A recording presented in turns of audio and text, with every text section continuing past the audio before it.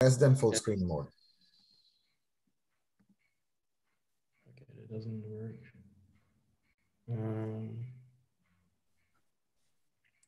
okay, then. Um, let me let me just uh, stop sharing for a moment. Um, Less than then, full I, screen then, I, then I can then I can share just a section of the screen because it's handy to show my cursor. I think otherwise I need to uh, I need to stay. Uh, okay. Um, Sure. I mean, let me just uh, stop sharing for a moment. Um, then, then, I, then I can then I can share just a section of the screen because it's handy to show my cursor. I think otherwise I need to uh, I need to stay. Uh, okay. Um, Sure. I mean, let me just uh, stop sharing for a moment. Um, Less then, I, then, I, then I can then I can share just a section of the screen because it's handy to show my cursor.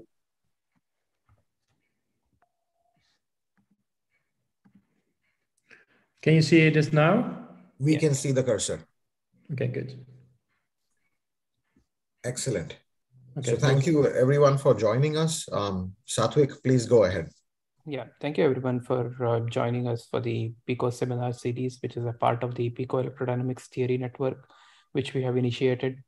So this aim of this theory network is to bring in diverse field of researchers working in the field of the topological physics, density functional theory, many body physics, and uh, many, many such areas, computational electrodynamics, to really look into the, the electrodynamic phenomena deep inside matter in the picoscopic level. So the aim of this network is to bring in these researchers so that uh, there is an active collaboration and also uh, to push this field of the this picoelectrodynamics deep inside the matter. And uh, so, as a part of this network, we are uh, following this Pico seminar series, which will be live streamed in YouTube. And uh, uh, with this, with the our third speaker in this seminar is Pro- Professor Robert Jan Slager from University of Cambridge, and now Professor Zubin Jacob will introduce him. Thank you. Thank you very much, Satwik. Um, and thank you to everyone joining us. Um, I am very uh, happy to share that we'll have uh, Professor Robert Jan Slager, um, who's going to speak to us about um, some really advanced um, ideas that he was actually a pioneer in bringing to the field on um, a, a contemporary view on topological band theory. And um, just to tell you a little bit about um, Dr. Slager, so he is currently a principal investigator at the University of Cambridge um, in the UK. And uh, he obtained his PhD in theoretical condensed matter physics from Leiden University. And he also worked as post, he had postdoctoral stints at both the Max Planck Institute uh, for the physics of complex systems and Harvard University. So he has a very long list of accolades. So I will not go through it, uh, but some of them uh, is really the Marie Curie Individual Fellowship, also the New Investigator Award uh, from the UKRI. Um, he has a very broad range of interests um, and is really one of the people who has pushed uh, topological band theory into new directions. And we've been very, um, we've had a great time collaborating with him on uh, a recent paper that we wrote with uh, Todd Van Mechelen and Satwik on topological optical N insulators and how the topological obstructions form in the atomistic susceptibility tensor. And we are looking forward to more discussions and um, possibly more papers to write with uh, Professor uh, Jan Slager. So with that, um, Robert, we are eagerly looking forward to your talk. Um, please go ahead. Thank you. Thank you so thank you very much for the invitation and uh, very very nice introduction. Uh, let's see if I can do it justice. Um, so you can still see the the, the my cursor, right? Or yes. um, okay, fantastic. So yeah, um, I, so uh, what I want to talk to uh, talk to you about today is somewhat of a general overview of like topological band theory and some of the things that we did in the past, um, which has resulted, which is like um, has is relates to symmetry indicators and and topological quantum chemistry. But on the the second part of the talk, I also want to talk about new stuff, uh, which actually goes beyond this kind of approaches. Uh, that are based on symmetry indicated eigenvalues, and I will try to make this explicit of what I mean with that. And the talk is designed to be quite broad, so sometimes I skip over things. So uh, it's really hard to condense everything into into an hour to like give every nitty gritty detail, but um, of course uh, we can have a discussion afterwards. But the idea is to at least convey the main ideas. So don't worry if not everything is clear, uh, like every every nitty gritty formula, but at least I hope the idea can be conveyed. Okay. So what I want to talk about today is, as, as I said, we, we are talking about like like uh, like uh, band theory. So you know, in condensed matter, if you're interested in in in in you're basically interested in how order arises from a large number of constituents like atoms or ions or um, what kind of system you are looking at. And uh, of course, this has been done for a long time using the Landau paradigm where you use symmetry. So a crystal is different from a liquid because a crystal breaks rotations and translations of space-time. Okay. But since like quantum Hall effects and actually also super high super high TC, there has been a very different idea of how to classify uh, order, and it's by use by the use of topology. Okay, so topology is really like studying uh, um, uh, studying properties of objects that are preserved under smooth transformation. So when I think about that, the classical example is like a donut is the same topologically as a as a coffee cup because the, the thing that's really invariant are the number of holes. And that doesn't change from the donut to the coffee cup. There's one, I can stick my finger through it.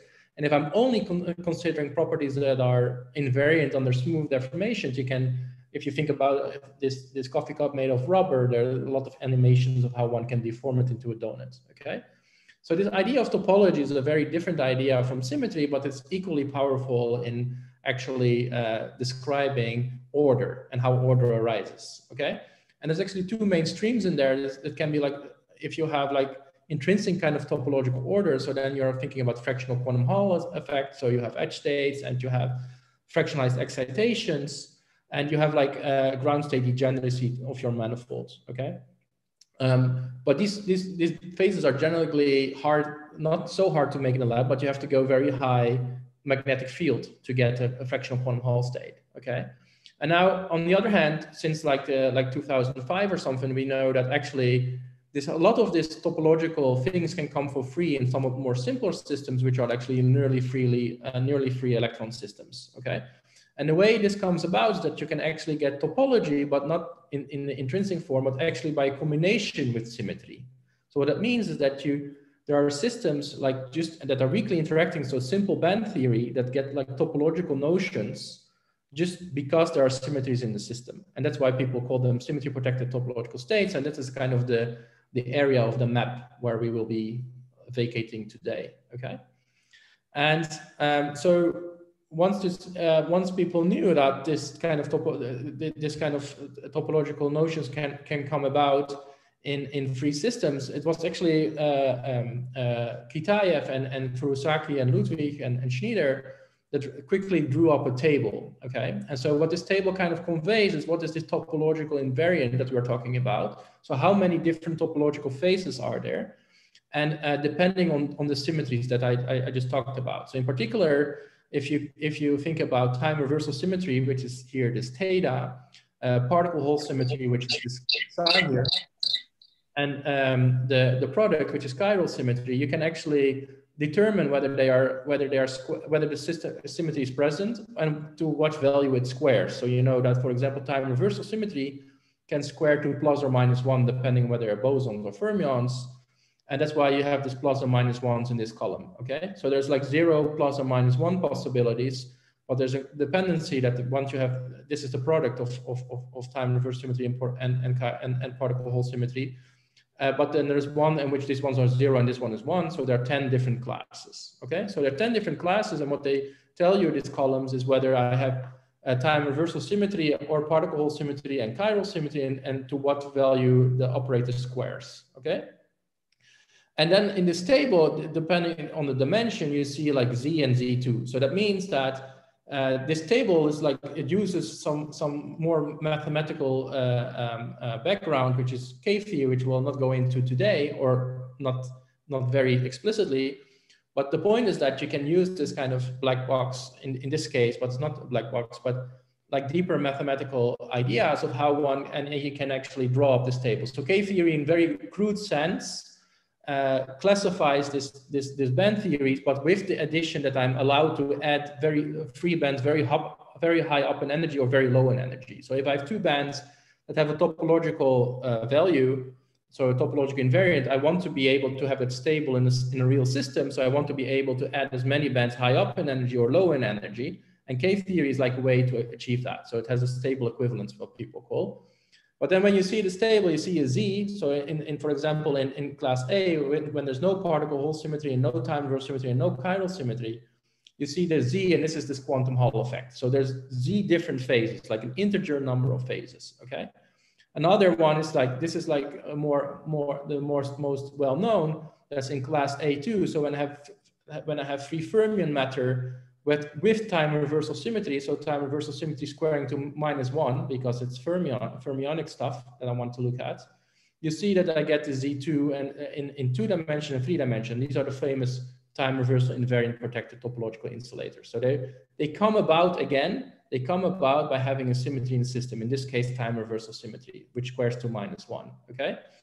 And they actually stem from a 4D quantum Hall effect that has time reversal invariance. But if you just look at this like two and 3D cases, you can directly see that symmetry is crucial because if I have time reversal symmetry and squares to minus one, then you have something that's called Kramers degeneracy. So that means that if I have a spin up, if I do time reversal symmetry on it, I have, will get the spin down in the in the SZ basis, right? So to, to maintain time reversal symmetry, you will need to have degeneracies, uh, which are called Kramers degeneracies at, at points at which the Hamiltonian commutes with time reversal symmetry. So with those points in the in the and so on. So when I would go to the edge, this means that there are actually two of those points. So let's say zero, excuse me, zero and pi, which is gamma A and gamma B, and now you see, because of the constraint of symmetry, these bands have to be degenerate at this gamma A and gamma B points, okay? And then you can see that I can either connect them pairwise, like here, or I can connect them like, like a zigzag. These are both, both satisfy the condition of having time reversal symmetry and having, having uh, uh, Kramers degeneracies here, okay? But now you see indeed that there's a difference between the two because if I do perturbations and I, I can just smoothly this, the, the, the, get this two band down, you will see that the crossings can go from two to, to zero, right? Whereas where here, I, am always stuck with an odd number of crossings. So I can pull this band down, but we'll always have an odd number of crossings, okay? So you see that there's indeed, if I go to the edge and the, the I, I, consider of how these Kramers points are linked, is, is that there's a difference between having an even number of crossings or an odd number of crossings of the Fermi surface, okay? And so, you, and but this is all fill, comes from the fact that here the bands have to be degenerate at this high symmetry points. So you see that the Z2, there's really two different possibilities. So Z2 really means like zero or one. That is the, the, all the possibilities. There's two different topological possibilities because I cannot go from this one to this one. So there's really two different classes. All the even ones are connected, all the odd ones are connected. And uh, this one turns out to be having edge state. So this one will always have an edge state on the, on the boundary, and this is what is the famous TI. But you see, it's really a, an idea of topology and symmetry coming together, but the symmetry is crucial, okay? But then you can ask the next, next question, if symmetries are so cr crucial, what about like uh, actually fundamental symmetries like lattice symmetries? Because if I want to talk about like a band theory, if I have free fermions and I want to talk about the band theory, I need to have a crystal in the first place because if I don't, I would not have a band, band structure. I will just have free fermions in the box. So given the fact that we're talking about symmetry protected topological states, the question is what is, does the symmetry that's always on board, the lattice, actually bring you, okay? So that will be kind of the like a main line in the talk, like, okay, so we always have crystalline symmetries on, on board. How does this enrich this table? Sorry, so um, if I, uh, if you look at this table, this is all good and well, but remember that we only specified time reversal symmetry, uh, particle hole symmetry, and the product chiral symmetry. So this table has a lot of information, but it doesn't encode the crystalline symmetries at all. And given that there are symmetry protected topological states, of course, there is an idea that this should enrich the classification and also enrich the number of possibilities that one can account for, okay? So that's kind of the idea of the talk. And um, the idea is that recently, since 2016, 2017, there has been quite a lot of progress uh, on symmetry indicators and topological chemistry, which are based on the gluing condition that I will talk about in a minute. And that's kind of the first part of the talk, just to review that, because it's it's kind of still contem contemporary, because a lot of people are still uh, using this, this techniques very successfully and insightfully to get new kind of topological to find new topological materials, etc. What I want then in the second part of the talk, I want to say that, uh, okay, so this is all nice and this is still a very active field, but actually we, in the past one and a half or two years or so, we have been kind of uh, exploring some new kind of topology, which we, I will uh, refer to as multi-gap or Euler topologies. And I will try to convince you why they are new and also that they are new, and but also uh, why they are new and uh, how they work. And because they work fundamentally different than this ones. Uh, and uh, that's why, why, why we are excited about that. Okay. So the part, so first I will review a little bit of the symmetry indicators and why uh, this is still very contemporary. But then in the second part of the talk, I want to also show this new kind of stuff, which we are quite excited about.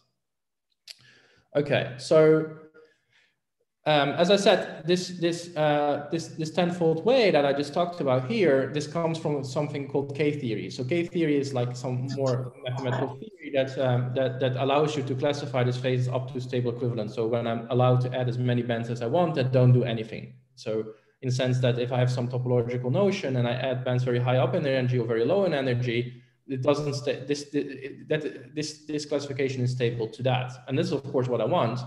So what I really want is if, if I want to, I want to uh, look at this table, but instead of only having time reversal symmetry, particle hole symmetry, and, and the product chiral symmetry, I actually want to enrich them with the, with the crystalline symmetries, which is of course a daunting task because there are many crystalline symmetries to think about, okay? Now, the in, and but and, and in particular, I want to do this in in some like the K theory kind of way, which is mathematically exhaustive. Okay, in some sense that you have a well-defined mathematical construct. The only problem is that if I want to enrich the K-theory with the crystalline symmetries, the, the, the, the K-theory becomes more complicated and what mathematicians would call twisted equivariant K-theory. And that means that the K-theory dep starts depending on momentum. And you know that because I will, I will show you in a moment a, a, an example, but if you have, for example, four-fold rotations, it will commute with the Hamiltonian at certain points in the Brillouin zone, not like globally. Time reversal symmetry acts k uh, uh, to minus k on each point. But uh, for example, C4 rotations will act differently at, at zero, zero because it put the same, or at pi pi because it will map to the same point, whereas on, in, in another point it will act generally different. So it will only, but in other words, it will only commute with the Hamiltonian at certain points in the Brillouin zone, actually. And, and that's why you can already guess that this K-theory, if you want to do that, of course, I'm not going to explain K-theory, but it becomes more complicated, becomes, becomes, it becomes dependent of the, of the space group, the, the, the symmetry of the lattice that I'm interested in that I encode with G, but it becomes also dependent on momentum, okay? And that's just a hard problem to solve, okay? Um, and um, it was already like already uh, people with the more uh, like in mathematical physics had like kind of post of how to how to maybe combine this. But what I will show you is that something that we uh, that we that we uh, discovered in these papers is actually that there's a very easy way to calculate this K theory, which is quite profound mathematically, but by just doing very simple things, okay, and just actually counting. And the idea is here the idea is here, that, and that's something you should keep in the back of your mind all the time, is that everything is actually determined by how things connect. Okay. And what I mean with that is that let's say that I have two bands and they have some symmetry label. So if I'm considering inversion symmetry, there can be some band that has a plus inversion and one has a minus inversion uh, action. So when I act with inversion symmetry on the wave function, it either returns the same one or minus the same one. So a plus and a minus band. And to really go from, from, from a trivial phase to a topological phase, by definition, I cannot smoothly deform them. So I need to do a band inversion, right? So that means that if I had the band that went from blue to blue and from red to red, if I did this band inversion, now it will go, it will change character. So this topological one has the idea that I changed character from one point to the other. So it went from red to blue and from, from blue to red. And that's because I did the band inversion in, in, in, in the in between, right? Because by definition, I need to do that. And this idea is just the whole idea that you actually need to solve this K theory. And that's what we showed, okay? So um, just to, I will not do the proof today, but I want to just walk through a specific example because it shows all the techno technology that you need, okay? And if you want to know the proof, you can just read the paper. But the idea is as follows. So remember that we are only, everything is determined of how things connect. So let's do that for a specific example. Okay, so let's say that we just have a square lattice and I want to take in, and I, I don't have any time reversal symmetry or particle hole symmetry or chiral symmetry. So I, I only am interested in the action of the lattice. And I want to map out all these different topological phases. Okay, and as I said, everything is determined of how things connect. Now, to do so, uh, let's just do this algor uh, algorithmically and then just leave the proof for another time. But just walking through how this is calculated, I think is really very insightful, okay? And as I said, the whole idea is how things connect. So now let's make this concrete. So remember that if I have a square lattice in, in, in, in, in real space, so this is in real space, then in, in momentum space, square lattice looks the same. It's still a, a squarish Brillouin. And the first thing you notice that if I have crystalline symmetries is that you don't need the whole Brillouin. So in particular, if I have four-fold rotations and I do mirrors, you can see I can cover the whole plane. So if I do four-fold rotations and, and, mirrors, I can cover the whole Brillouin. So this is minus pi pi, this is pi pi. So I actually only need the red triangle. So the first step is actually to determine only the smallest piece that I need. The rest is just uh, du duplicate information anyway, okay? Then the second thing is that uh, remember that here I was talking about like how things connect, but I kind of assume that I go from one special point to another special point. And what I mean with special point is what something that I would make concrete now is special points are those that are live in the Brillouin zone that get mapped to themselves under the symmetry. Okay, so remember that if we have a square lattice, then we have fourfold rotations and a mirror in the x and in the y direction. So if I then think about points that get mapped to themselves, you see that there are special points that are left uh, that are mapped to themselves by more than the identity. Okay, so any point that I take in the Brillouin zone, so let's say I take this point here, if I apply the identity to that, of course it gets mapped to itself. So kx, ky, if I apply identity to it, just identity matrix, it will go to kx, ky. But there are points that are left invariant by more, and that's what I would uh, refer to as special points. Um, and so in particular, as an example, you see, for example, if I would go to the, the gamma point, which is zero, zero, if I do fourfold rotations around zero, zero, I get mapped to myself, okay? But also when I do the mirror in the X or in the Y direction, also the zero, zero goes to itself because zero, zero, if I do any matrix, it goes to zero, zero again, okay? So this point is left invariant by fourfold rotations, but also the mirror in the X and in the Y direction, right? So basically by everything that is in in the point group symmetry. So you know that if you have this plane, I can look at the point and in the point, I also only have fourfold and rotations and mirror the X and the mirror in the Y direction, okay? So the action that is like leaving local points invariant is called the little co-group. So that depends on K on each point. So points that are left invariant by more than the identity, they have a non-trivial co-group, and those are the special points that are defined. So as I said, the gamma point is an example because if I do fourfold rotations, it's get mapped to itself, but also by both of the mirror. Another search point is, for example, the M point. Because if I think about the M point, if I do a fourfold rotation, that gets mapped to the same point modulo lattice translation, right? So if I do a fourfold rotation, it goes from this point is pi pi, this point is pi pi, it will go to this point minus pi uh, pi, okay? Or minus pi minus pi. But these are all the point, same points modulo lattice translation. So fourfold rotations map m to the same point m. But also, if I do a mirror in the x direction, it gets mapped to itself. So if I do it along kx, then this m goes to the same m modulo lattice translation. Or when I map it in the in the y direction as well, because this point uh, uh, pi zero will go to the to minus pi zero, which is again the same point. So actually, this point m also is left invariant by uh, everything, like by, by the by the fourfold rotations and by the mirror in the x and the mirror in the y direction, just like the gamma point. Okay. But there's another special point, which is then different, and that is the x point, because if I do a fourfold rotation, this point zero pi, uh, sorry, pi zero will go to zero pi. So that's another point modulo. I mean, this is not related by lattice translation. So this is a different point, but it is left invariant by both of the mirrors. So if I do a mirror in the kx, if this is like, this is point zero pi, so if I do a kx mirror, it gets mapped to zero pi to itself. Or when I do it in the y direction, uh, sorry, along the ky axis, then it goes from pi zero to uh, minus pi zero, which is again the same point modulo lattice translation. So you see that this x point is not left invariant by a four-fold rotation, but it is left invariant by two mirrors, like the x and the y, both of them. So now we have our three special points. So the gamma and m we talked about as four-fold rotations and both mirrors. So the, the thing and mathematically speaking, that leaves it invariant is the complete point group. So everything there is like D4 and both mirrors. And whereas the X point is only left invariant by the two mirrors, so the two mirrors are actually Z2 times Z2 because you do, you know, if you do a mirror twice, you get back to yourself, right? So if you if you take your mirror image and you do another mirror image of yourself, you're mapped to yourself. So that's why this is a Z2 quantity. If I square it, I always get to myself back. So that can only have eigenvalues plus or minus one, okay? Um, so that's why the, the X point has a, like two mirrors, which is basically that the, the, the, the group that lives in invariant are two mirrors. So that's Z2 times Z2, okay? But uh, there's there, so, and now, and now comes the, the crucial thing is that Okay, so if I have some special point and I have by definition chosen my special point such that they are left invariant. So when I do a fourfold rotation or a mirror on this gamma point, it gets mapped to itself.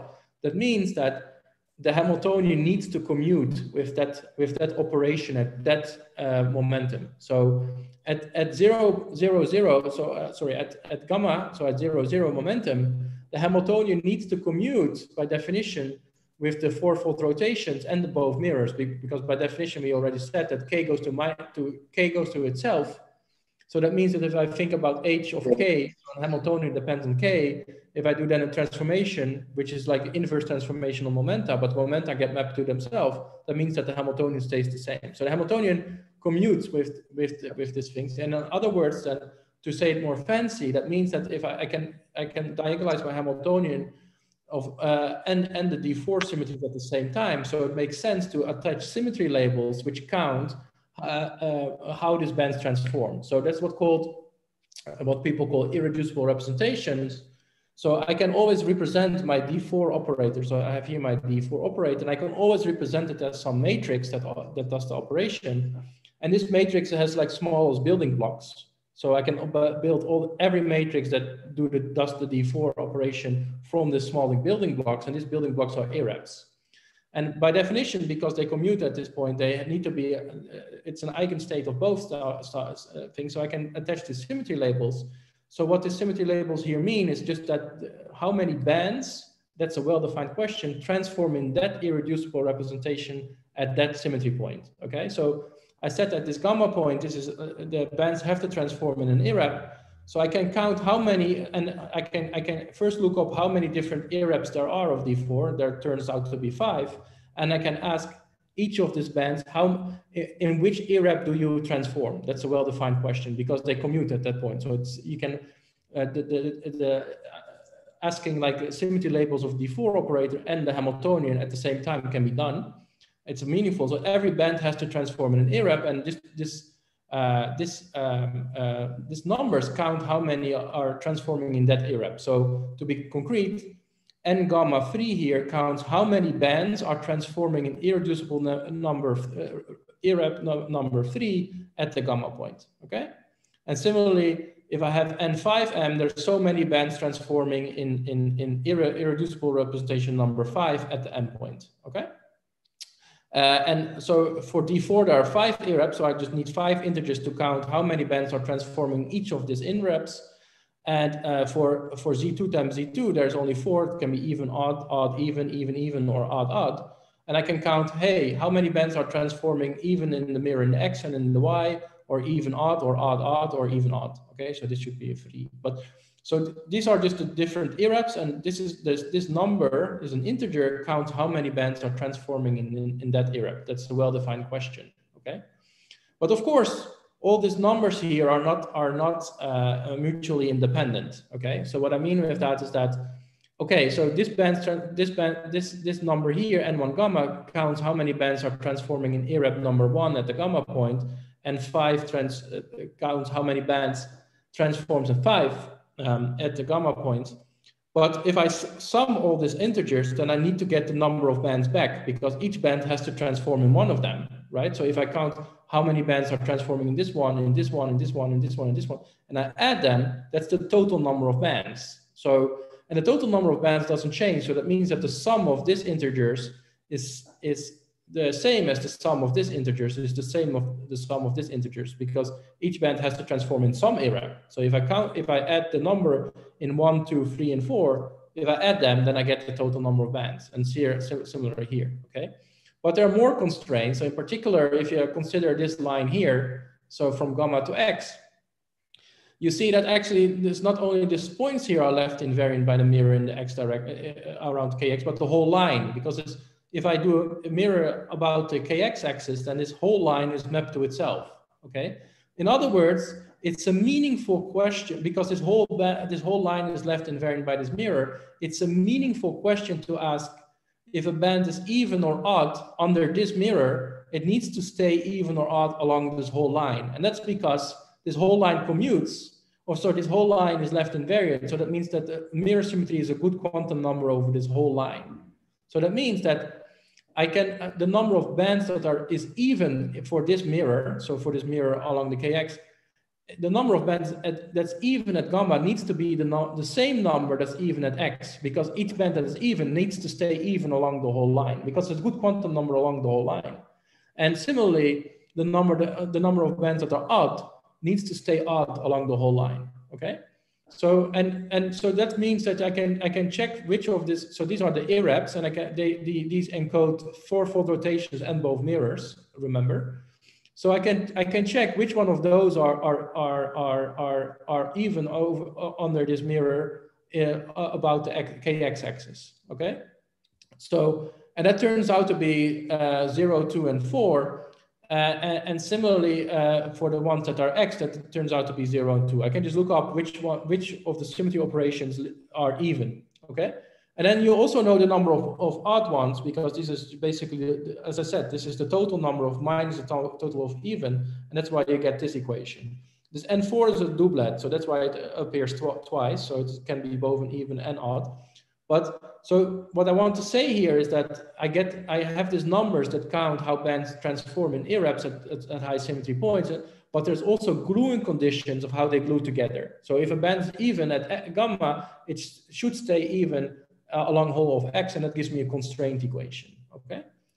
And um, uh, similarly, uh, okay, so this gives me two constraint equations for the even and odd, but of course these are not mutually independent because I said this one, this one, the number of even bands is the number of total bands minus the number, uh, sorry, the number of odd bands is the total number of bands minus the even ones, okay?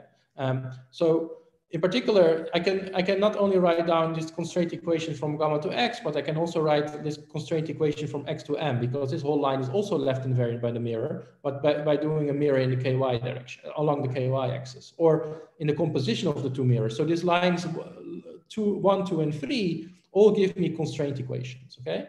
So the only thing that I need to do is I started from this from these numbers here, but there's constraint equations. So I write down these constraint equations. But as I said, these constraint equations are not all mutually independent. So I take the rank of this guy.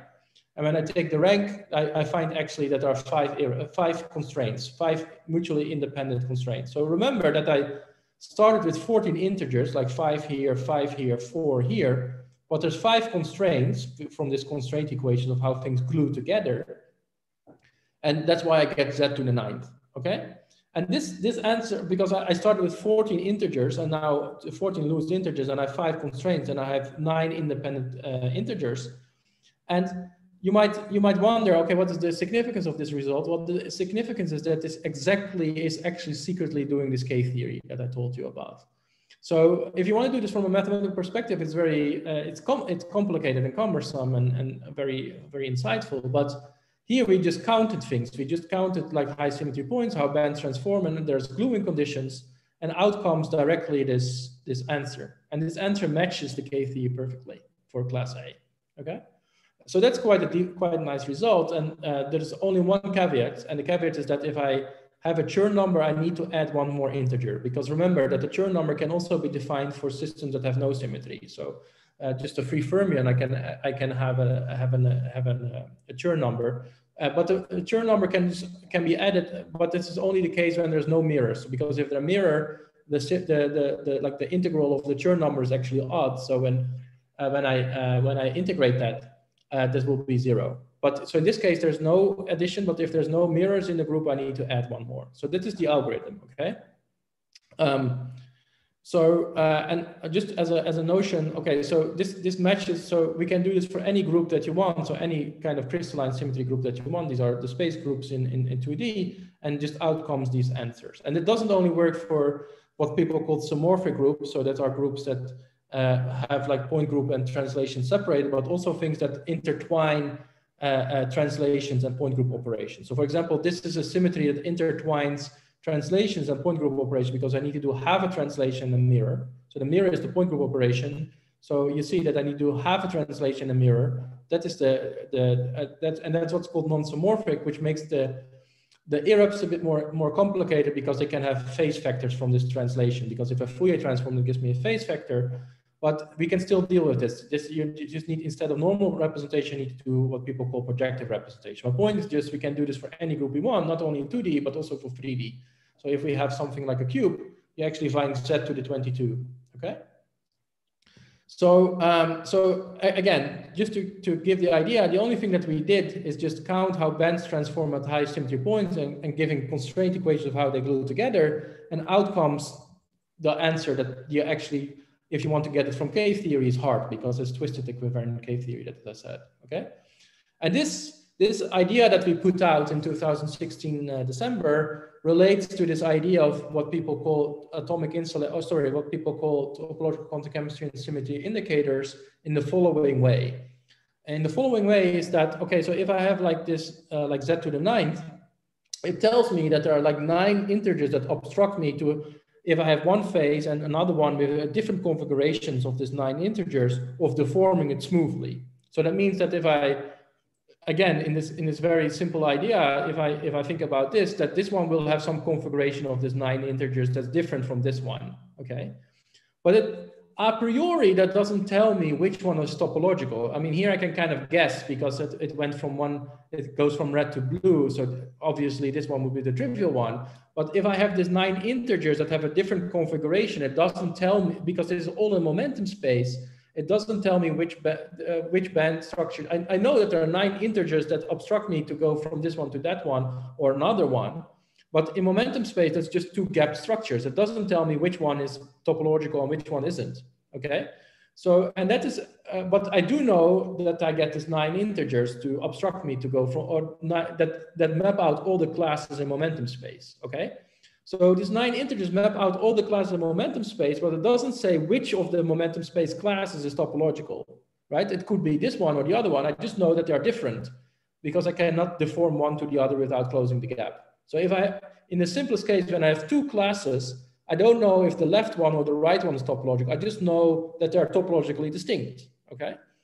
And this is what symmetry indicators and, and, and, and, and, and uh, topological quantum chemistry brought very nicely and insightfully to the table in some way, because they basically give a definition of what I would call topological and what I call uh, uh, uh, uh non-topological from scratch from a physical perspective. And the physical perspective is that if I can find a localized Wannier orbital, so make localized orbitals on each side, then if I cut the system, I will not have edge states. If I'm not able to find a localized Wannier description in real space, if I cut the lattice, then this, because it's not localized, it will, it will leak through the boundary and I will get edge states. So for a topological, so it's just basically a physical definition. A physical definition would be if I have an if I have a, a, a, a trivial insulator, I can find a localized Wannier description that obeys all the symmetries, and when it's topological, it's not. Okay. And so now, because with our algorithm, we can look at all the different band structures in momentum space, how many different classes we have. I can check for each of these momentum space classes whether they have an atomic limit in real space or don't. And if they do, then I know that they have to be trivial. If they don't, then I know that they have to be topological. Okay. So that is the essential idea for topological quantum chemistry and symmetry indicators, that we know the whole, all different states in momentum space, but we need to divide out by those that are I actually have a Wannier representation. And if I do that, then I, what I'm left what I'm left with is topological. Okay. And so just to make this very concrete, I can give you a specific example. Okay. And uh, uh, so so remember from my from the gluing conditions that we that we that I outlined that we found, I can, I can look at all the different momentum space band structures, but now I need to do the exercise of checking which of these classes have an atomic limit or not.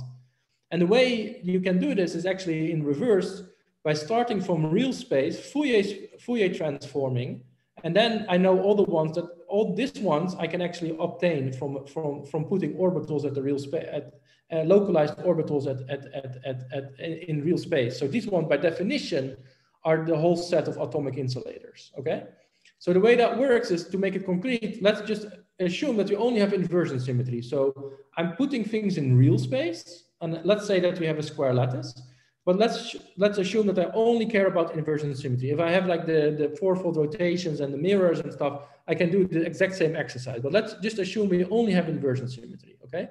If I only have inversion symmetry, then in real space, there's four positions on which I can put my orbital. So I can put my orbital here at zero, zero, or halfway through the bond, because then my invert, if I do inversion, it goes, the, the pattern is repeated, right? So I can put it at zero, zero, or halfway through the bond here in the X direction, or in the Y direction, or here. All the other ones are shifts. So these are called the maximal position in real space are called the Wyckoff positions. But any, so if I want to make a square lattice that obeys inversion symmetry, I only have four choices of where to put my orbital in real space. So I'm putting orbitals in real space. And then if I only consider, consider inversion, the, my, my orbitals can either be even or odd. So let's say that uh, even is like a dot uh, uh here, S, uh, that's obviously an uneven orbital because if I do, an, I mean, it's completely symmetric or odd, like a p orbital. P orbital will be odd because if I now do an, an, inversion, blue and red are swift. So like, like, sorry, blue and yellow, blue and yellow are plus or minus. So you know, p orbital is odd, right? So this, and now if I put these things in real space, I can Fourier transform. And because remember my algorithm that I talked about before distinguish all the different topological phases in momentum space. And now I need to check which of these class in momentum space have an atomic limit.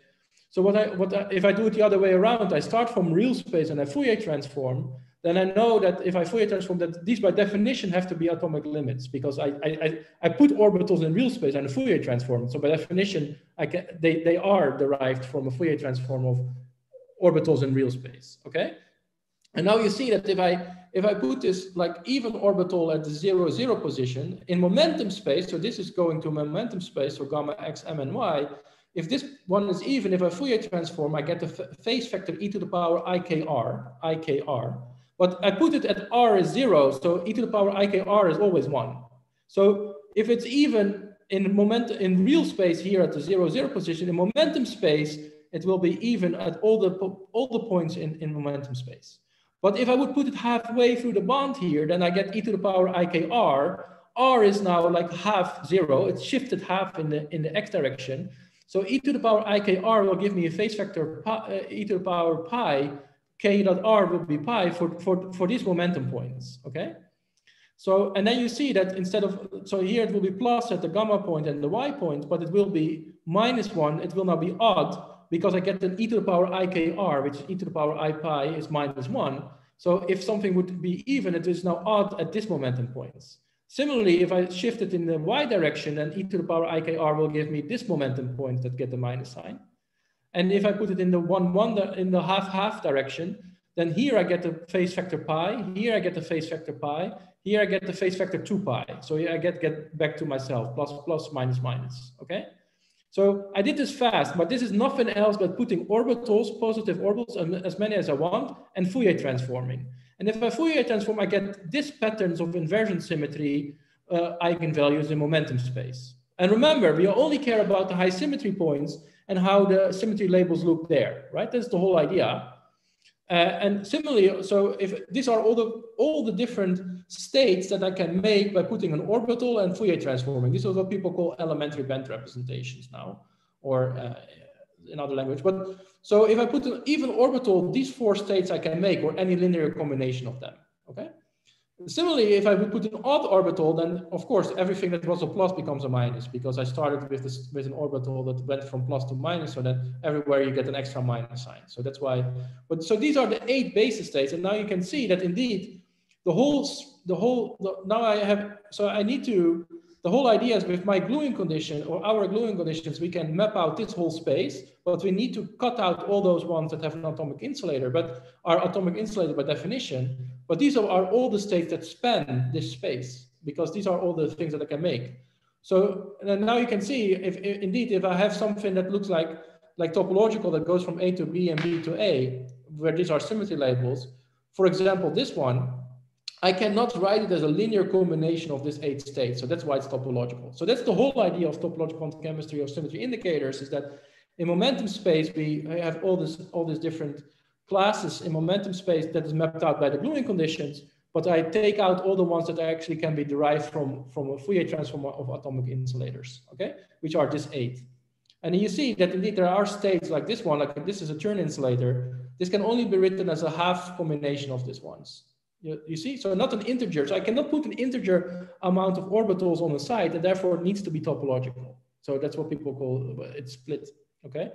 So this also brought about that you can actually have uh, uh, um, what people call fragile topology. And fragile topology is nothing else that uh, I have actually, I don't have like a linear combination of this, of this, uh, of this basis states, so it's not an atomic insulator, but I actually have a combination with the minus sign. And you know, I cannot put a negative amount of orbitals on the side. I cannot, I can only put integer, like even integer amount of, of orbitals on the side. So this is how, uh, this, I mean, I can only put so many S and so many P orbitals on each side or, or D or F, but so many even or odd ones. And so this combination here, one minus two, is like the combination of two basis states that are atomic insulators but I cannot put a negative amount. So this one is what's called fragile topological. So I cannot make it by putting, I cannot make, it, it doesn't have a Wannier, uh, it does have a Wannier limit, but it's all, it's a difference between two topological insulators. So in particular, if I add an atomic insulating normal orbital, so if I add just an extra band, I can actually minus two plus two, then I can get of this minus, I can get rid of this minus sign, and I'm left with one, which by definition was a topolo, uh, uh, sorry, by definition, an atomic insulator. And in, in particular, so I don't want to go into details, but in, in, indeed, if you have this kind of fragile topologies, if you add an extra band, you see that you can you can trace it by what people call like Wilson loops. So what you do, you you follow the the band over the Brillouin zone, and you just check uh, if you if I have something topological. Again, the idea is I go from A to B and B to A. Then it turns out that you if you go around the loop, that they these have to the the the Wannier the, the Wannier centers need to travel. So that means that you have a Wilson flow. In other words, if something is topological, if you look at the Wilson flow, they need to cross. So they need to have crossings. And you see that these crossings go away if you add more bands. But I don't want to go into too much detail, but fragile topology for symmetry indicated stuff is nothing else but something that is the difference between two atomic insulators. And because I cannot put negative orbitals on the side, it has a topological invariant, but this topological invariant goes away by adding a trivial band. So this is not K-theory stable by definition. In particular, for this example, if I add uh, like a trivial band that is representation two, then this two minus two will go away and I will just be, end up in one, which by definition was an atomic insulator by just putting a p orbital on the zero zero side. So clearly that is trivial, okay? So that's the whole idea. So in the last part of the talk, I want to want to uh, want to show you like some of the things that very very uh, um, pictographically what the last the things that we have been have been excited about at this papers which are like topologies that go beyond it. So once more, everything that we did in this in this uh, topological quantum chemistry and symmetry indicators is really like think about how bands connect. So how how do the symmetry labels look at different points then I got from our gluing conditions all the different topological phase and momentum space and topological quantum chemistry and symmetry indicators came with the great idea, oh, I can check for each of these phases whether they have an atomic limit or not. And if they do, that class is, uh, is not topological and that class is. And from the gluing conditions, we know we cannot deform one into the other without closing the gap by definition. So that maps out all the topological insulators, right? So then you would think you're done. But the, the exciting thing is that actually we're not done and that is because there are now kind of topological phases, which we call, uh, which we call multi-gap or Euler topologies, that come about by completely different uh, idea. So the idea was of how things glue together, and I, I, I divide out, uh, I get all the different class momentum spaces, and I, I, look at those which have an atomic limit or not. Now I will show you like something like topological phase that come about by a completely different mechanism. And the mechanism is, is as follows, is that uh, and this is why we also call it usually multi-gap topologies. These, these kind of topologies arise in systems that have more than two bands. So the other ones, I can do everything for two bands, or I can, of course, I can look per band, okay? But now let's assume that I have, a, that we don't have to assume, we just look at the system that have three, has three bands, okay? Now it turns out that uh, I can make a Weyl semi-metal. So if uh, so, that means that I have have like nodes between one gap. So let's say that this, I have a node here between. So that, uh, I will call this principal bands, but don't mind about that. Let's say we have three bands, and I have two nodes between the first two bands and one node in the in the in the other one. Actually, there needs to be another node because uh, we know from Weyl semi-metals that they always need to have opposite charges. So this I needs to be minus I. I just call them I for the moment. Um, and uh, what, what I want to say is that uh, if you have a Weyl semi-metal, then you have a topological invariant over the sphere around this node, and you cannot have unbalanced topological charge. So if I have one topological charge here plus, then it needs to be a minus. So that's why I have here I and minus I, okay? But the idea now is that actually these topological charges of these nodes are not just simple plus or minus or just plus or minus the Chern number, uh, if one has more symmetries. So if one has C2T symmetry or PT symmetry, uh, which is just twofold rotations time times reversal symmetry or parity times time reversal symmetry. It's very natural in almost all systems because almost all systems have uh, C2 or P. Uh, sorry, only have C2, uh, but C2T is just a magnetic symmetry. But assume that we have C2T or PT symmetry. The point is that these nodes now actually don't only have plus or minus charge within one gap, but they actually have non-abelian charges with respect to the, to the node in the other gap. What I mean with that is if there's three bands here, uh, and what, what, what you can show is that if you have a, a, a, system that has C2T or PT symmetry, the Hamiltonian can be always written as a real matrix, so an ON matrix. And it turns out that these nodes now have non-abelian charges with respect to each other. So that means that I can label this charges as I and uh, uh, so, and in particular, if I have three bands, you can show quite easily that they like act like quaternions. So quaternions, you know, like if you don't know what quaternions are, they are just like very much like the Pauli matrices. So you have sigma x, sigma y, sigma z. And sigma i and sigma z, they anti-commute.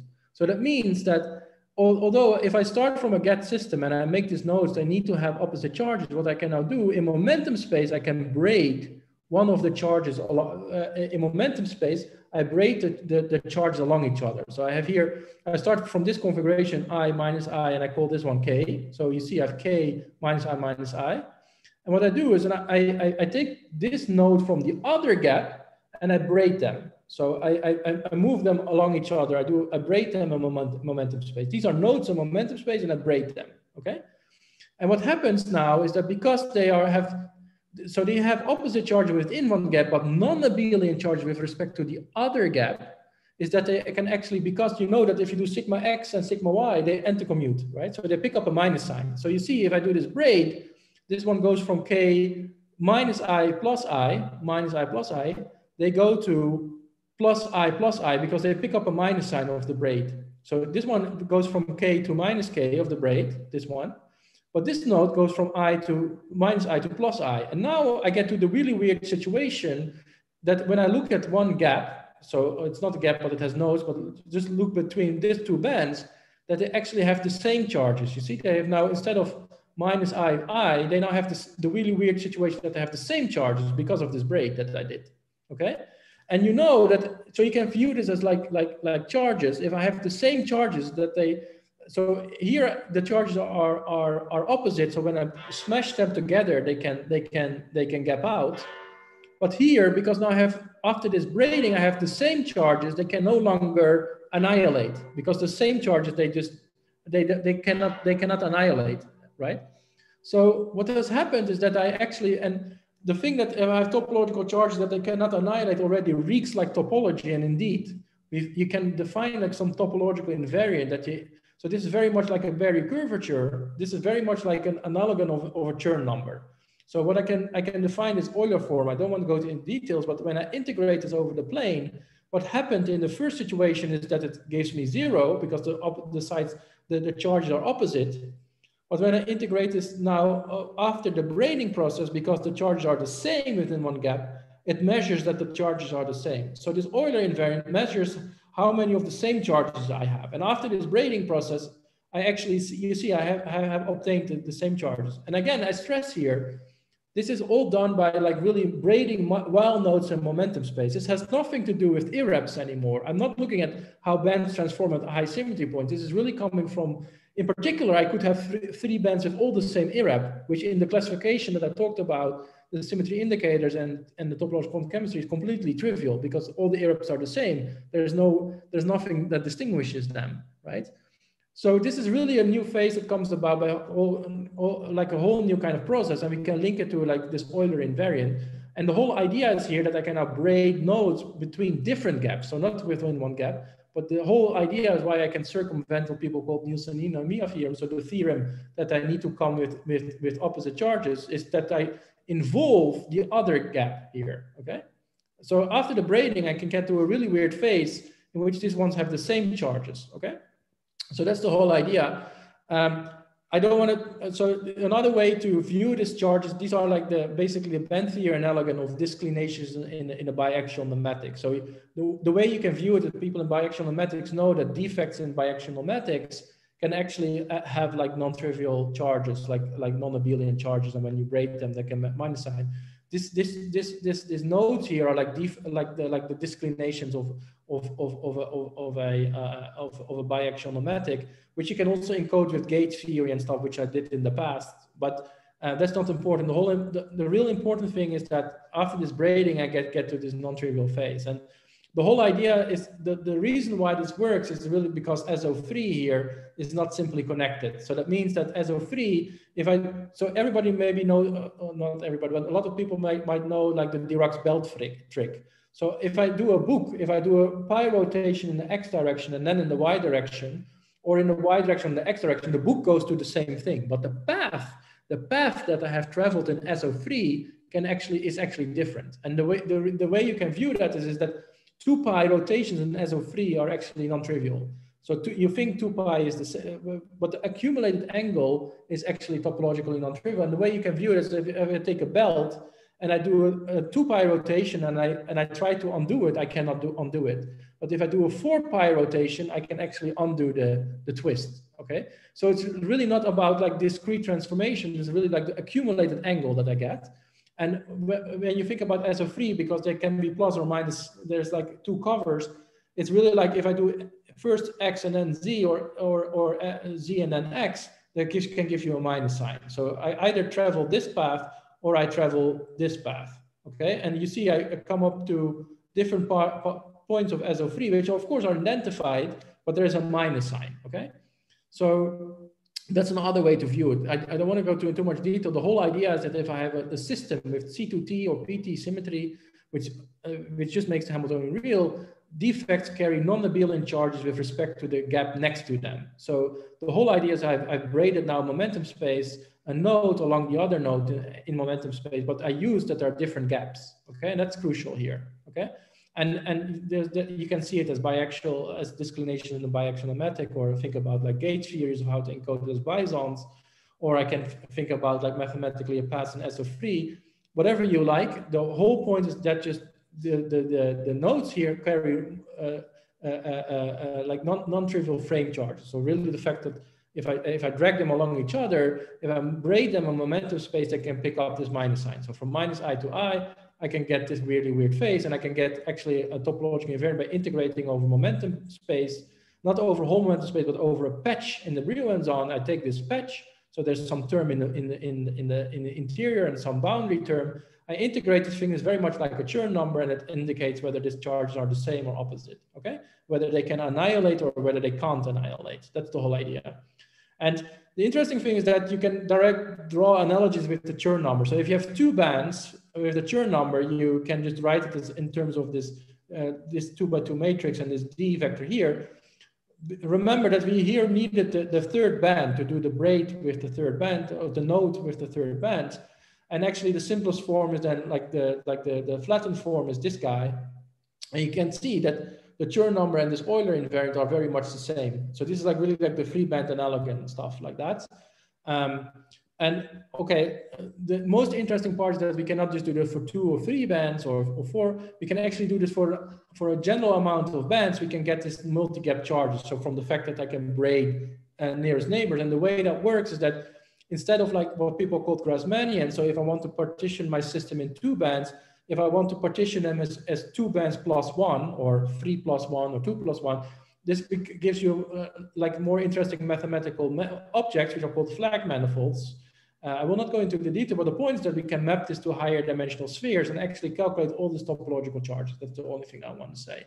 And we can make models very specifically with my with my dear friend uh, Adrien Bouhon. Okay, so so we have technology of how to get the models for this for these topological phases, and um, uh, not only models, but we have also uh, like specific uh, signatures. So remember that in the simplest case, this Euler number comes in a three band model and this three-band model is written like this. Now, when I quench with the system, that's the first thing we did, as like looking at the uh, physical signature. So quenching means that I take my system suddenly that, no, that I change the Hamiltonian from, from being a trivial Hamiltonian to this Euler Hamiltonian.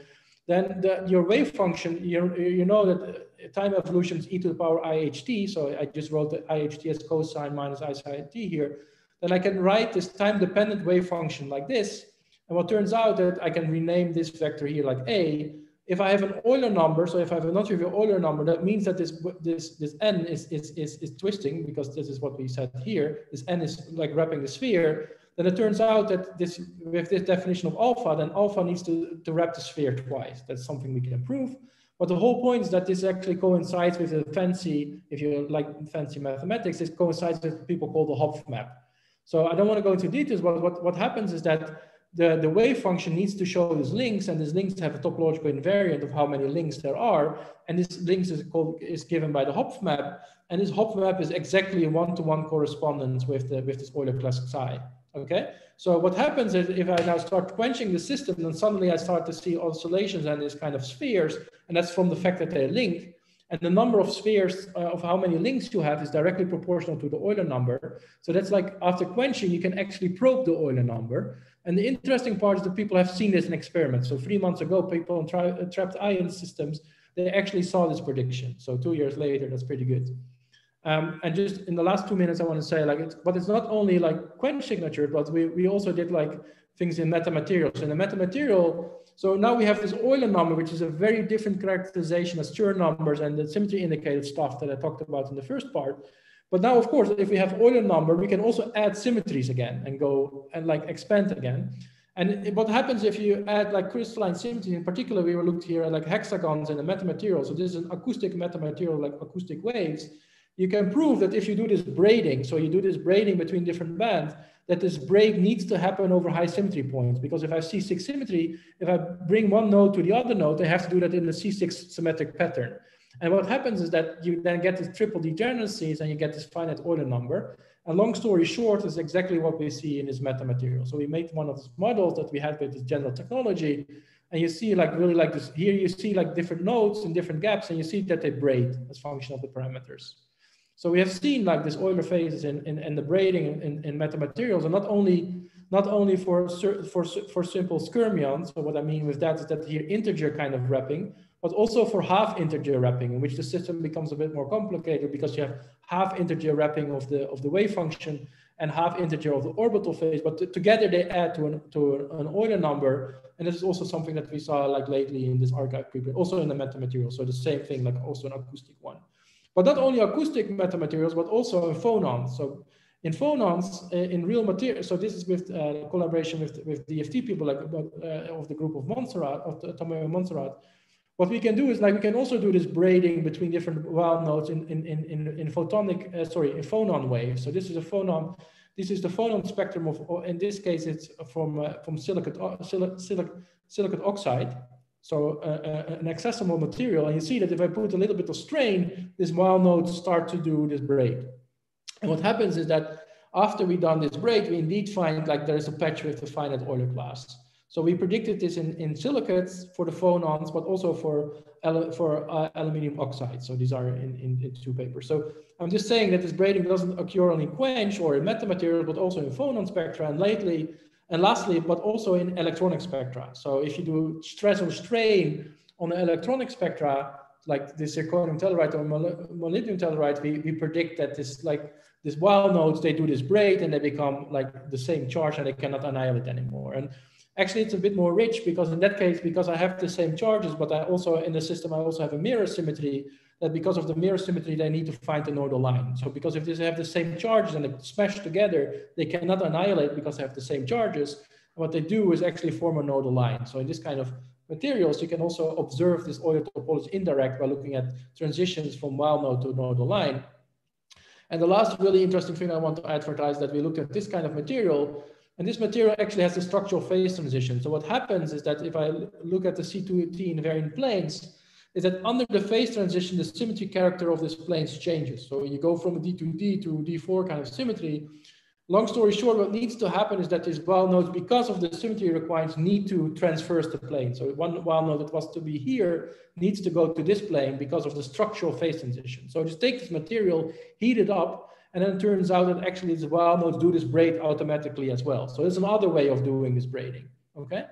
So um, with that, uh, I, I, just wanted to give an overview that we have this new kind of topology that come around by a very different methodology, really by braiding momentum things. We have uh, like very specific mathematics of how to address this kind of phases. So we can actually do this for very general things, which is a bit more mathematically intertwined. But there's also real physical signatures like quench signatures that have been seen in experiment, or we have done this with metamaterial friends where they made these acoustic setups and, and saw the, the Euler phases. We also predicted in phonons, like, as I said, like silicates and, and, and aluminum oxide. And finally, also in electron systems where you also inter has also another interplay with crystalline symmetries. And with that, I really would like to like to thank you all for your for your attention. Thank you very much. Thank you so much, Robert. Um, this was awesome. Um, what we'd like to do is um, thank um, everybody for being here and also Robert for his time. And we'll now go to the session with um,